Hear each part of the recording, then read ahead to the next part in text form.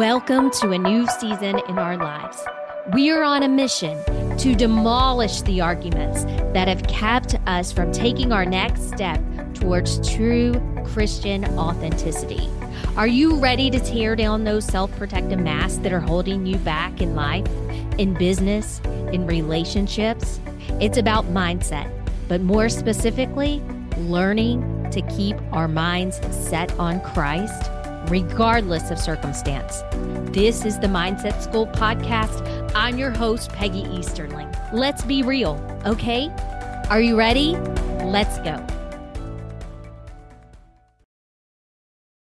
Let's be real, okay? I want to welcome you in this week and thank you for taking your valuable time to listen. I want to just get real with you. God has been just dealing with me. I've been in a pruning season. He's just been doing pruning. He's been just pulling away some mindset things that I've still had limiting me in my own mind. Some of you have not heard of the term pruning before. It's a new concept to you. And when I say pruning, I'm not talking about that shriveled raisin looking fruit. I am talking about the gardening that we do to our trees, that we do to our lives. That's representing of cutting things back, getting rid of things so new growth can occur. Me and my daughter love house plants, and she is the type of house plant keeper that if she sees a house plant, I always tell her she throws it away at its first sight of distress where I hold on to the ones that look like there's no chance of life left before I give up on them. If she has a plant that's needy, we call them dramatic drama plants, where they just wilt and fall over and act like they're dead every time that they need water. She won't keep up with those. She will get rid of those because they're too dramatic for her. But me, I like that. I like, okay, fall over. I'll give you some water. But the pruning that needs to occur is the dead leaves that you have to just cut back. You see those leaves that are dying and you prune them, you cut them back so that the new growth can occur, the new life can come forth. And about pruning, as a general rule, a light summer pruning can be done. But your heavier pruning, where you really cut back, it needs to be done at a very specific season. And this is late in winter, right before active growth occurs. I want to say that again. The heavier pruning is seasonal. So if you're feeling like God's stretching you and you're being pruned, no, just know if you're uncomfortable and God's peeling back some things in your life, be expectant because that active growth, that late winter is here. And the next thing is that active summer growth, that active season of growth. I want that to sink in. John 15 2 says, and I'm reading from the Amplified Version Every branch in me that does not bear fruit, he takes away. And every branch that continues to bear fruit, he repeatedly prunes so that it will bear more fruit, even richer and finer fruit. Pruning is vitally important for us to grow in our walk with God. Are there things in your life that it's time to cut them off? Are there some mindsets that God's been dealing with you for this for a minute? Is it time to cut them off? Are there dead branches in your life on your tree and it's time to cut them off? There's a psychological concept called cognitive restructuring. And this is a process, it's part of cognitive behavioral therapy, which is also called CBT.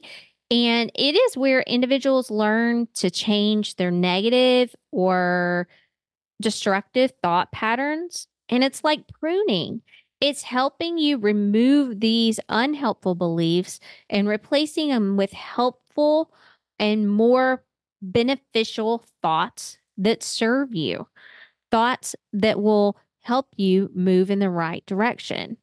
And so, cognitive restructuring is identifying and then changing.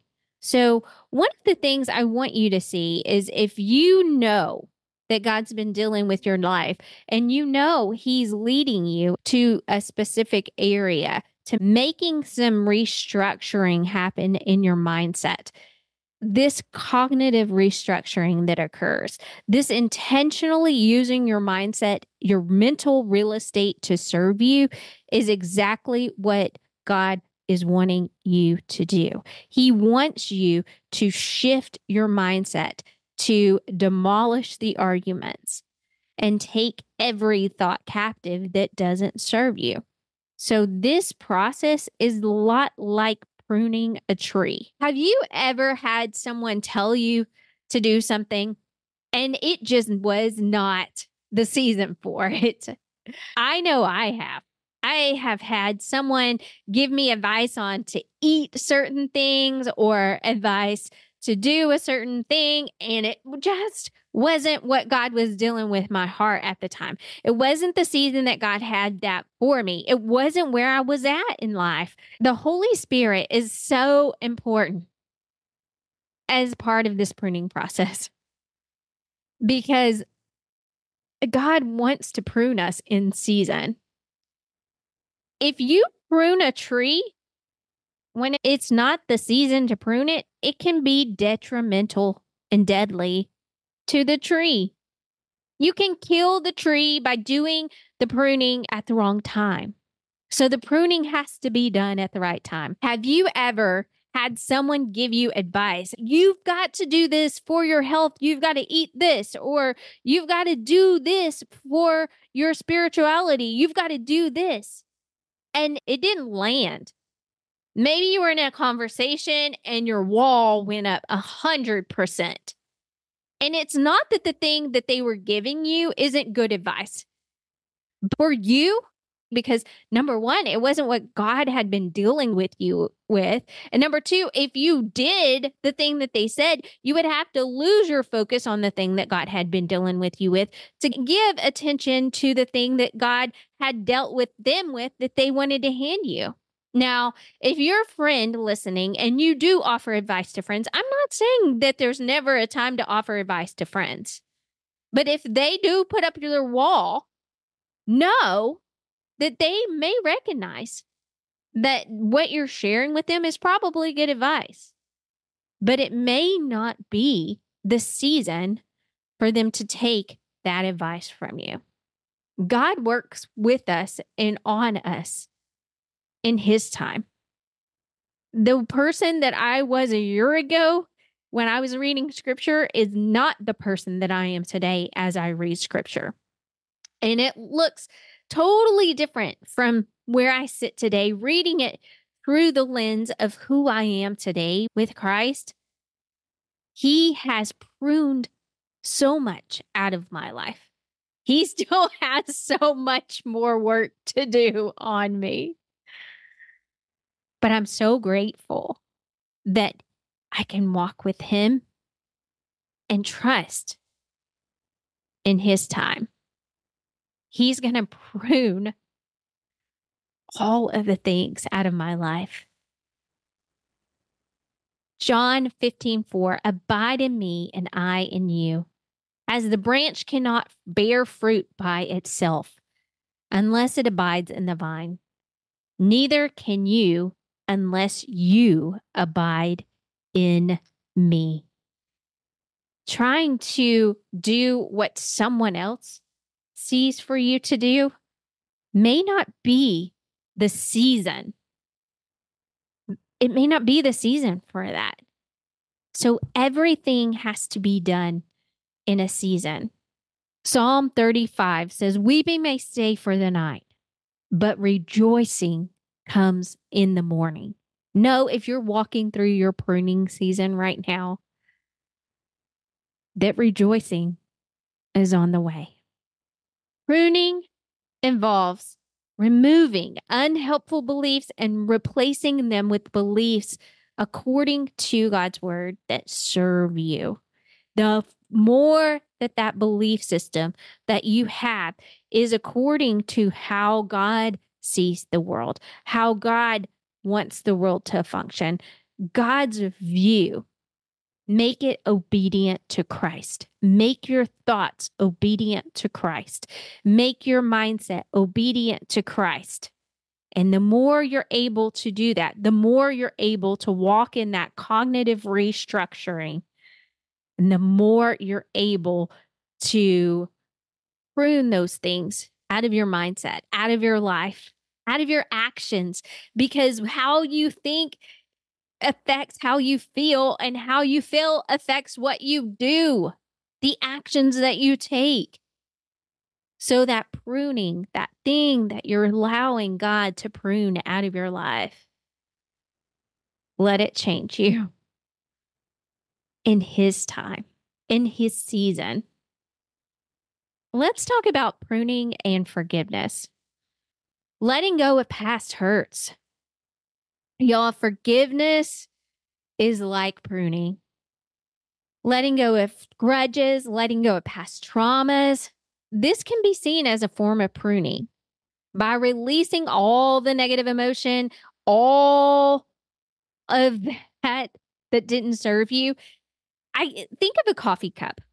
You've got your coffee cup and you want to fill your coffee cup with God. And if your cup is full of all of your past and all of the things that don't serve you, and you've only got a little space for some creamer at the top. Are you like me? You like your coffee with a lot of creamer? So, if you only have enough space for a few drips of creamer, it's not going to be what you want in that cup. Well, the same thing is true if we don't allow God to prune us and let go of those past hurts, to let go of those traumas, to let go of unforgiveness. We just did in the Mindset School, we were wrapping up a Bible study just this week. Uh, don't look back by Christine Caine. I highly recommend not just the book, but the Bible study guide with the streaming video because it is a powerful, powerful study. Lives were changed in the Mindset School just doing this study together. Oh my. And I'll tell you, there were some coffee cups that were full when we walked into the space of our own way. But if we want the goodness of God in our lives, we've got to make that capacity for our cup to be filled with Him available to Him. And in order to make that room, we've got to prune. We've got to empty of ourselves so that we can feel with more of Him and His goodness. So, by releasing some negative emotion, and letting go some of our past, we were able to have more room for Jesus in our cup. Because really, He is the water in our cup. He is the life that changes lives. It is Him a hundred percent. And we get in our own way when we don't allow Him to prune, prune back the things in our lives that aren't serving us. What do you need to prune? There's also a concept in psychology called behavioral activation. And this is simply engaging in activities and doing things that bring joy to your life, joy and fulfillment. While we are also reducing and eliminating behaviors that contribute to depression and anxiety, replacing activities that contribute to negative mindset, negative emotion, and replacing them intentionally with activities that bring us joy and fulfillment in life. What for you do you need to make a behavioral activation switch? Are you a workaholic and God has told you to set down some work? Or is the opposite true for you? Is it time to get to work? And God's leading you in that direction because some of that work that you've been putting off could bring you joy and the fulfillment of that working and getting to that end result. Is there some joy available for you there? What's God leading you to? Behavioral activation. Is there something God is wanting to prune from your life in order to get you where He wants you? He's been pruning me. Y'all, I do not want it to escape you that I'm completely human. I, through tears, have just humbled myself recently before God. I've been asking him for direction. I've been asking him for clarity. I've been seeking his face. And in this time with him, he's been pruning. He's been cutting things from me. He's been cutting my own mindsets out of the way. This season of pruning is not always easy. The process of pruning and cutting back is cutting. And cutting brings exposure. Think of the branch when it's cut and the exposure. Sometimes there's sap there. So if you're in a season of cutting and pruning, and the tears that have fallen from your face and your eyes, you've laid out before God and sought his face, I want to tell you that's okay. If no one else will tell you, I want to share with you. That's okay.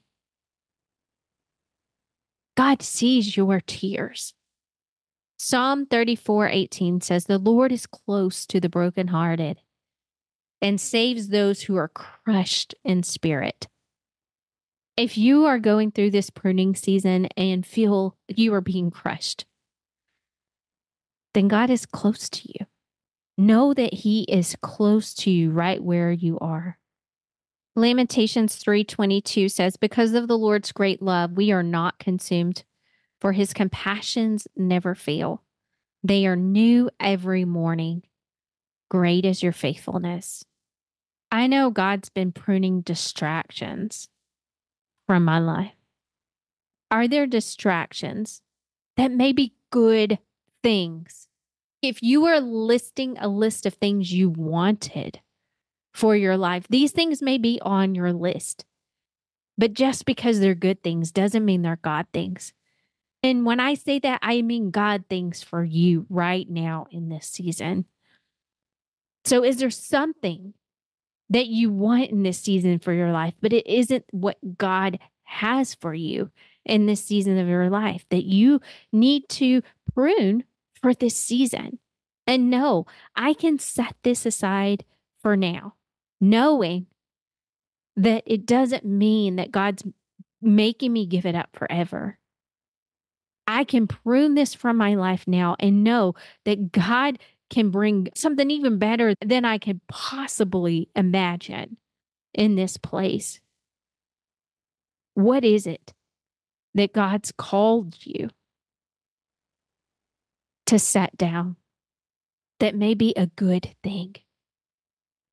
God had me for years volunteering into in kids ministry and I love kids. I love working with kids. I love being around kids. I just love kids. I love their energy. I love their smiles. I love how much fun I have whenever I hang out with them. I love their innocence. But it was time for me to go volunteer in a different space in church and God led led me to move into a new direction. So what is it for you?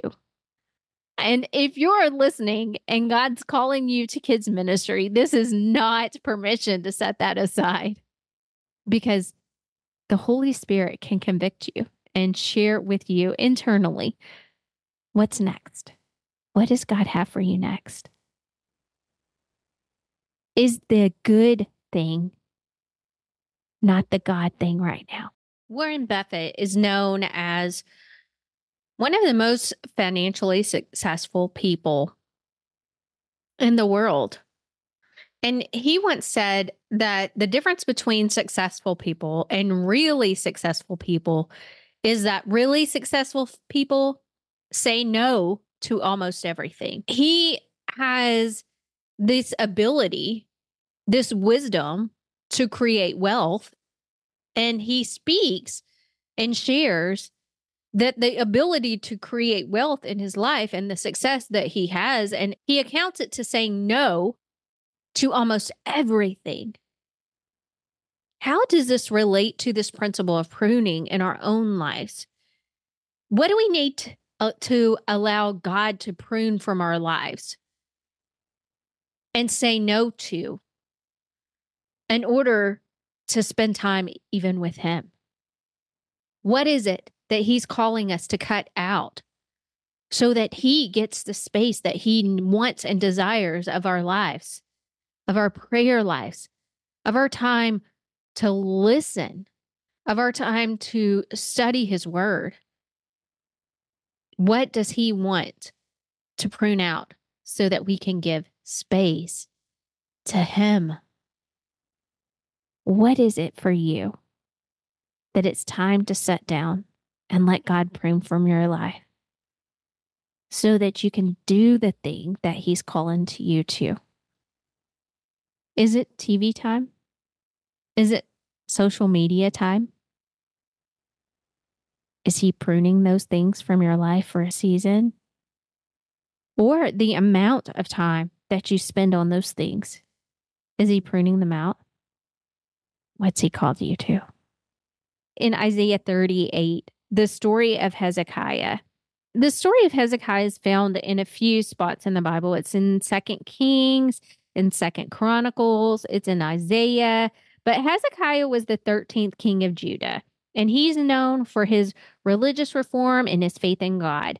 He became king and reinstated the Passover. He removed some idols and some pagan altars. During his reign, there was an Assyrian threat and Jerusalem was threatened.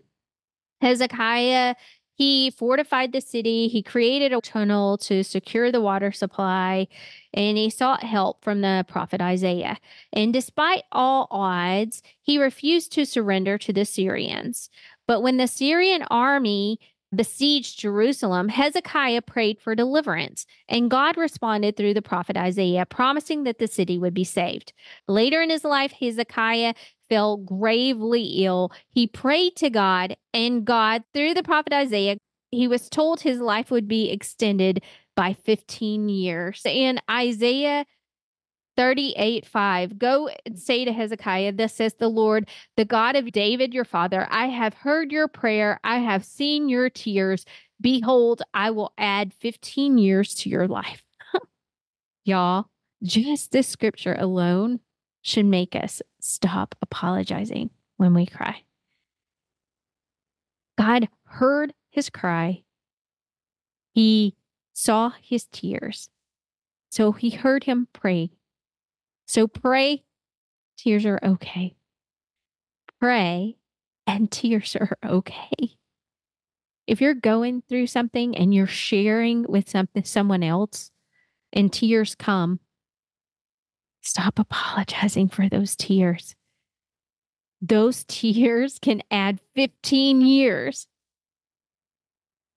I'm just saying the character of God is that he mentions this here. God sees, he hears, he knows, he knows what we've been through. He sent Jesus. We do not have to apologize for our tears. He added 15 years to Hezekiah's life because he prayed and he cried. If you're in a pruning season, I hope that encourages you. After this pruning season, Hezekiah experienced a renewed sense of purpose and gratitude. He praised God for deliverance and recognized the value of his life as a gift from God. The pruning process, although painful, can result in spiritual growth and a deeper appreciation for God's faithfulness. Our suffering and pruning can lead to spiritual growth, humility, greater dependence on God. It can show the transformative power of God's grace into turning our trials into opportunities for growth and renewal. If you've been in a season of pruning, I want to encourage you today, wherever you are at, wherever you're at, God sees you. He hears you. He's collecting your tears. He knows your name. He knows the number of hairs on your head. And what you're walking through has not escaped him. It has not escaped him. Know that when you go through a season of pruning, growth is coming. I hope this encouraged you today. And let's be real, y'all. God's continuing to grow our lives as we tear down these walls and masks we've hid behind and let his light shine through us.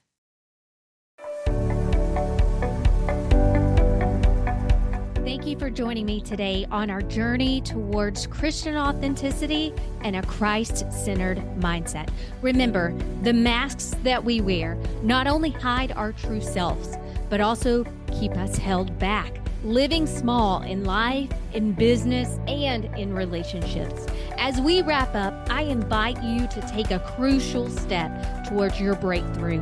I created the Breakthrough Quiz just for you head over to the mindsetschool.net slash quiz and dive in to discover a guide to move you closer to your authentic self and renewing your mind God's way.